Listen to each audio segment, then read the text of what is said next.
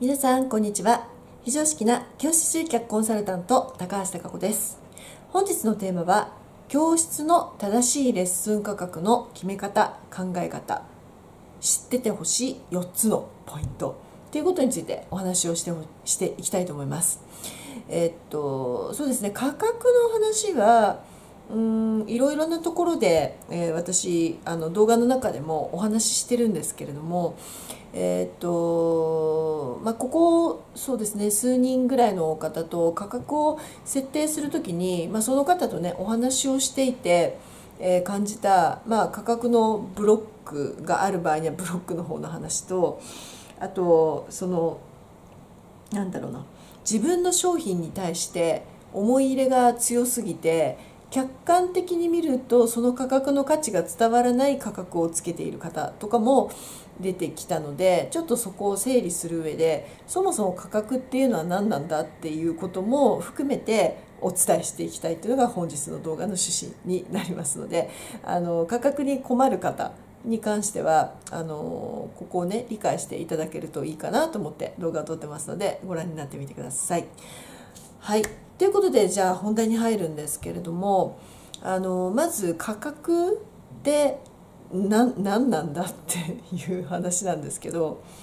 えーと、特に、まあ、物質的なものじゃない教室のレッスンっていうケースにおいてはですね価格って本来はあるようでないものなんですよね。まあ、これが答えになっちゃうと困っちゃうんであの答えは何なんだっていうと、えー、買い手が要はお客様が生徒さんが、えー、適正だと思えばそれで OK っていうのが価格っていうことになります。はい、もう一度言います。買い手が適正だと思えばその価格が OK ということになるということですね。はい、じゃあその時にまどういうことが起こるかっていうと価格が適正だと思わない人に商品を売れば当然それは価値がわからないものになるので高いということになります。はい、じゃあもうちょっと分かりやすく伝えていくんですけどうん例えばですね趣味のものとかあるとするじゃないですか。で私のそうですね趣味のもので割と高いのってカメラとサックス楽器ですかね。割と高い方。まあもっとね趣味にお金ガンガンかける人とかいる場合にはもっと高いものになるのかもしれないですけどじゃあ例えばカメラだとしますよね。で私一番最初に買ったカメラがローライフレックスっていうオールドクラシックカメラで、まあ、1958年ぐらいのカメラなんですけどね。普通ねデジタルカメラって最新機種で画素数が良くてっていうふうとどんどん値段上がっていくじゃないですか。だけどローライフレックスのそのオールドカメラっていうのはまあ骨董品的な扱いになったりとか、まあ、ただ市場の価値が変わる時とかありますよ。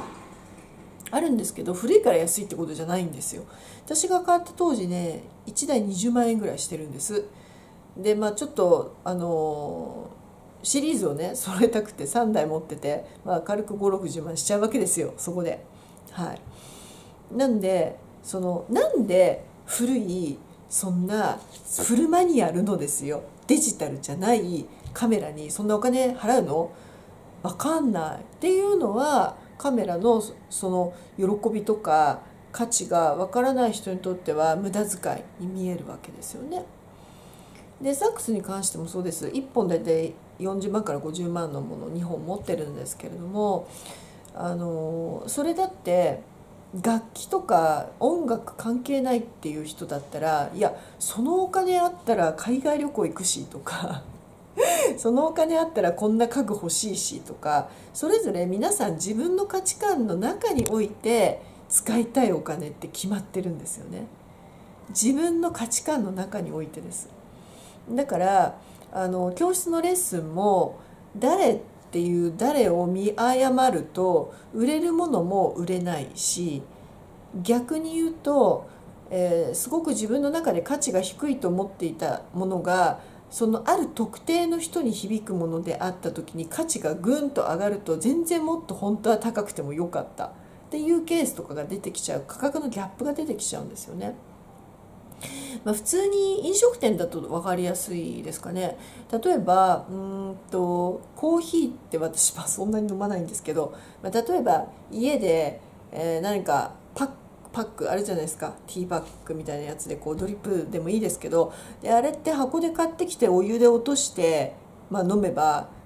100円切るのかな？とかいうのもあるじゃないですか。だけど例えばスターバックスとかに行ってまあ、コーヒーカフェで飲んだりすると380円とか、まあ、なんとかフラペチーノみたいなのとかあやるともっと高いじゃないですか。ね、だからそのまあそこは場所と空間にお金をまあ払ってる、まあ、当然従業員さんがそれをサーブしてくれるっていうのはありますからね。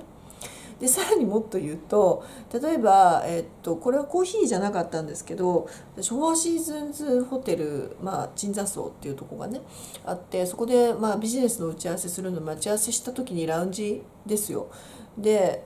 ミルクティー頼んだんですけどね確かね2000 2000いくらだったかな。うん、ちょっと忘れちゃったんですけどまあまあお高かったです。でちっちゃいお菓子もついてきてであのね継いでくれて素敵なカップ何のカップだったか忘れちゃいましたけれども お高いカップですでそれで景色がいい場所でこうね商談するみたいな感じだったんですけどでそれ2200円とかねするわけですで仮にそれがコーヒーでも多分同じぐらいの値段だったはずです確か。でそれっていうのはその空間ごとやっぱりフォーシーズンっていうのは売ってるわけですよね。そのいい心地いい気分にするっていう。だから付加価値がついていて。で当然そういうコーヒーがいらない人にとってはフォーシーズンのそこで飲むなんて意味不明じゃないですか。だって家で飲んだら100円以下だもんっていう価値観の人にフォーシーズンのコーヒー売っても売れないっていうことです。そのフォーシーズンのコーヒーの価値が分かる人にいいよねって言ってあ2200円いいじゃないですか、ね、この空間と時間で商談がうまくいくんだったら100万円の商談がとかね。例えばですよ。だからそのものっていうのは価値が分かる人に売って初めてその適正価格が売って初めてというか、まあ、買ってもらって初めて適正価格がつくみたいなイメージなんですよ。だからあのまず価格を値付けする先生のレベルでどういうことができるのかっていうことをね考えるとあのまず自分の頭で適当に値段をつけないということがまず第一で必要になります。だいたいあの値段とかね出していただくんですけどもまあうん、その商品の、ね、内容とか詳しく説明してもらって、まあ、私の頭の中では、まあ、同業他社を見たりとかそのものの価値とあとそれを欲する人とのバランス的にどうかなっていうと、まあ、大概安い値段つけてくる先生が多いですね。でそういう時には価値はもっとこういう人にこの価値を訴求すればきっと欲しい理由が分かってくれるから価格と内容が見合ってるっていうふうに多分思ってくれるはずって言って、まあ、値上げするケースが多いんですけどね相談されると。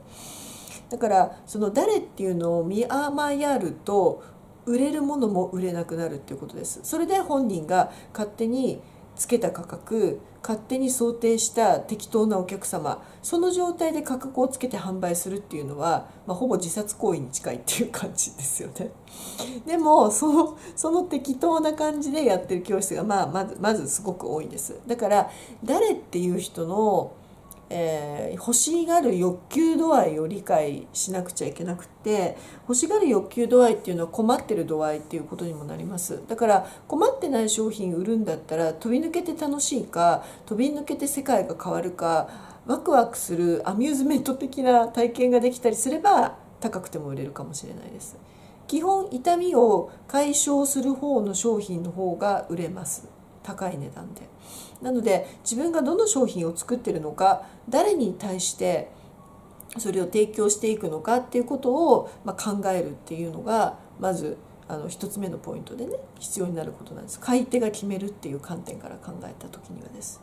で2つ目はその使われるシーンですよね、まあ、さっきのが少しヒントになるかな、えっと、コーヒーを自宅で飲むのかスタバで飲むのかフォーシーズンで飲むのかってこれシーンが全然違うじゃないですか。でもちろんあのコーヒー豆が良かったりとかその出すまでのサーブまでのしつらいがいいとかっていうのはフォーシーズンの方が多分いいと思うんですよ。だけどそのどういうシーンでその商品が使われるか商品サービスが利用されるかでそのシーンが要はそのお客様にとってマッチングしててお金をこれだけ払っても全然惜しくないっていう状態を作ることができればそれは付加価値が上がっていきます。えー、私はよくあの求められているんだけれどもうーんまだ世の中になくってすごい欲しがってる人いっぱいいるよねっていう商品を作るのが割と昔から得意だったんですね、まあ、だからパン教室とかも当時なあのなかったコースレッスンとかを作って、まあ、遠方からでも人が来るような状況を作ることができたんですけれどもそれっていうのは結局その誰にとってどんな商品がっていう、まあ、お客様ベースで結局まあ考えていくような意味イメージになるのでないもので求められるものを頑張って探すっていうことをするとその後の販売の方は楽になります。ないのに求められてるものですよ、うん、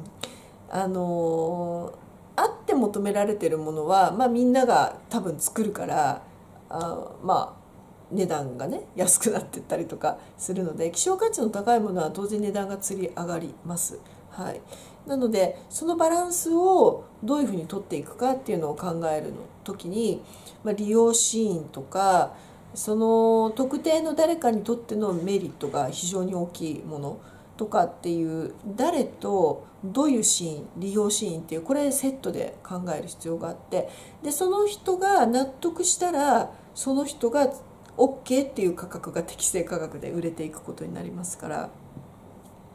自分が必要以上に値段を下げる必要もないし説得が足りなくて高い値段をつけるとクレームになったりとかするっていうのはその見誤りですね、はい、あのきちんと適正価格を見極めていくって作業はどうしても必要になります。でもう一個はま相対評価っていうことなんですけど一旦はその業界のそれっぽいようなサービス全部調べ上げてそのサービスがいいなと思われるところの妥当な平均値はもちろん見てもいいです。だけれどもそこに引きずられすぎちゃうと、えー、サービスの価値を下げすぎることになる可能性もありますし飛び抜けすぎていたらその飛び抜けただけの価値を説得と納得ができるように説明をできるかどうかっていうのも結構ポイントになってきます。要は飛び抜けた価値っていうことはそれだけの負荷をお客様にかけないといけないわけですからその負荷をかけてでも払ってでもそれが欲しいということになったら普通に買ってもらえる感じですね。だから例えばあのまあファン心理で言うとめちゃめちゃ好きな芸能人のねなんだろうじゃあ着古した T シャツとかだったとするじゃないですかでもオークションで100万とかついちゃったりしますよね。まあ、本当に来てるのかどうなのか分かんないとかいうのもたまにありますけどね。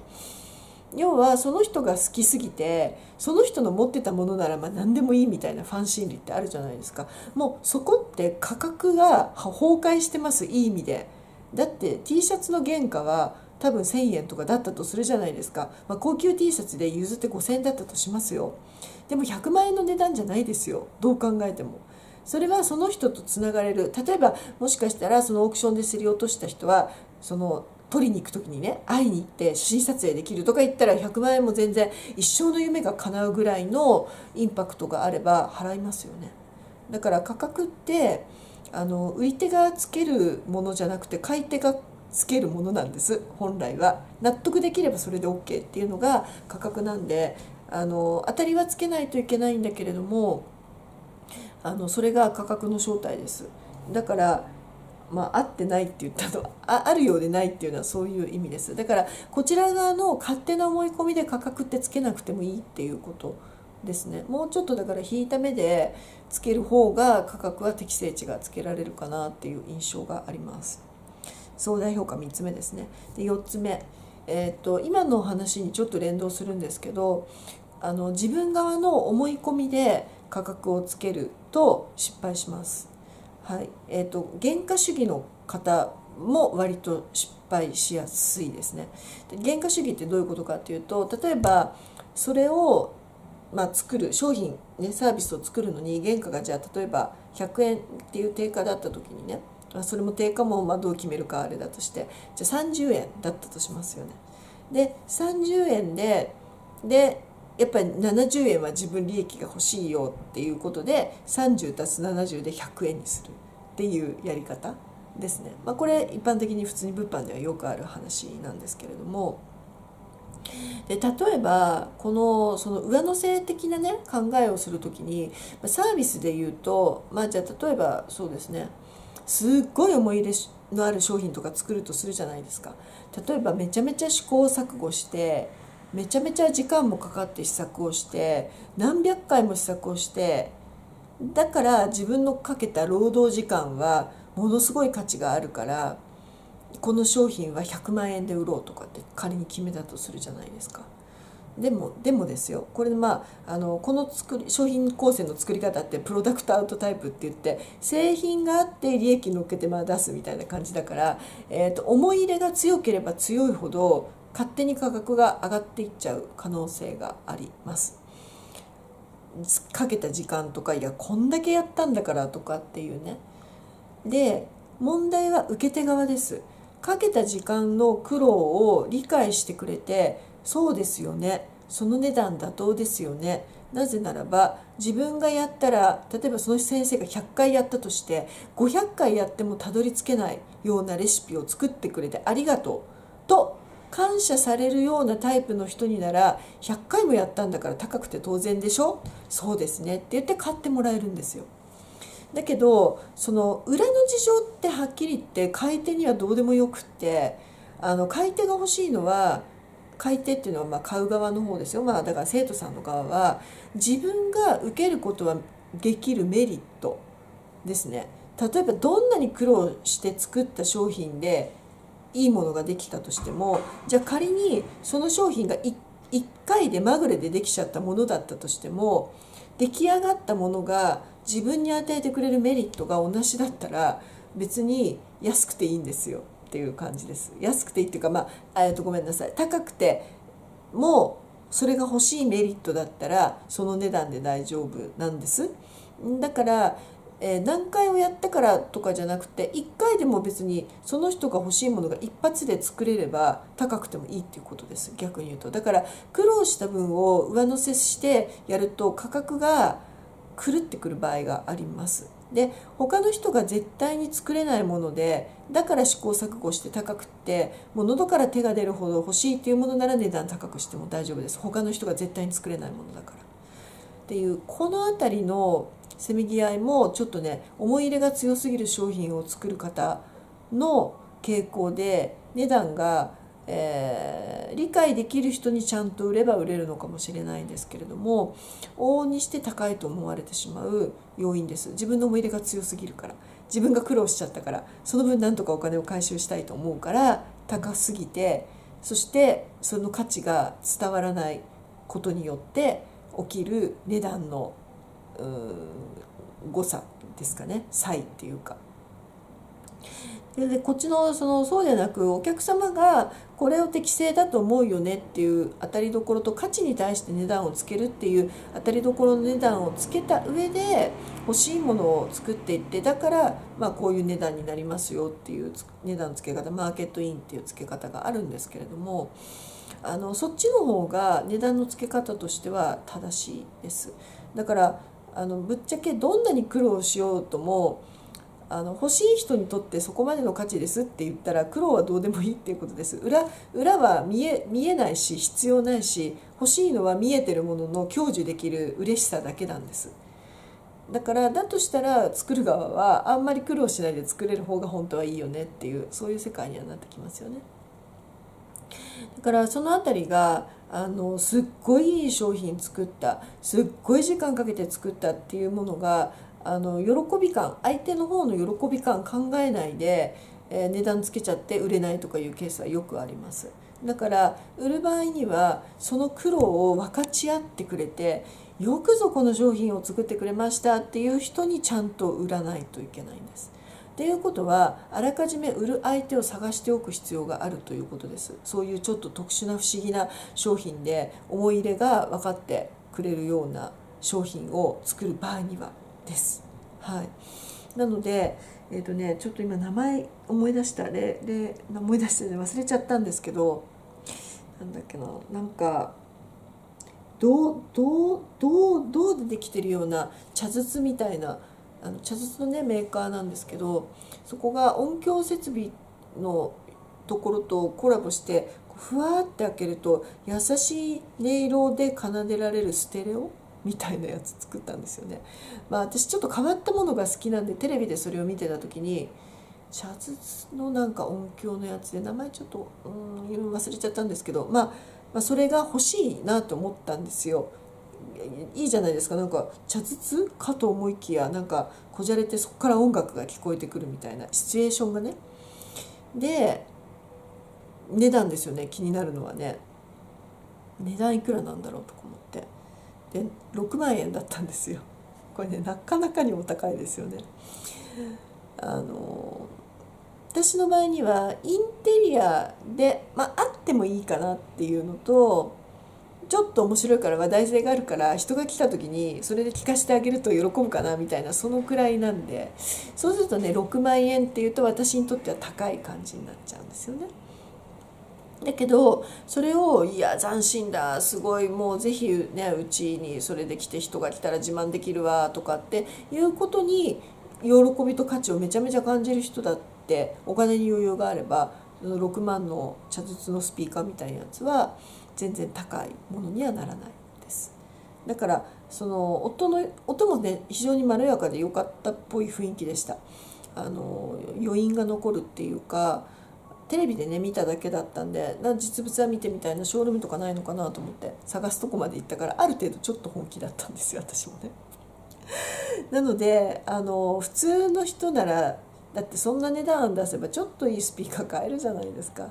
なんでその価値観の問題です。はい、どこに響くか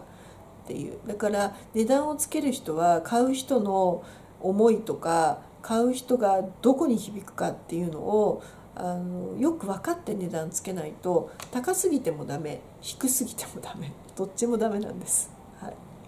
なんでその辺りをねあの研究して値段をね正しくつけていってもらったらなっていうことで当てずっぽじゃダメっていうことです。相対評価だけでもダメっていうことですね。そのあたりをね理解してほしくてお話をしました。ということで本日のまとめです。教室の正しいレッスン価格の決め方考え方知っててほしい4つのポイントですね。1つ目、えー、誰買い手は誰どんな人。その買い手にとってメリットが見えるようなシーン使用シーンですね。であと3つ目がとはいえ相対評価。業界のその商品の価値相対評価。と4つ目はマーケットインとプロダクトアウトの考えを、えー、理解して、えー、積み上げ型原価積み上げ型で価格を決めないということですね。はい、だからあのー、自分の頭の中の思い込みと幻想で価格とサービスを連動しちゃって値段をつけない方がいいっていうことになります。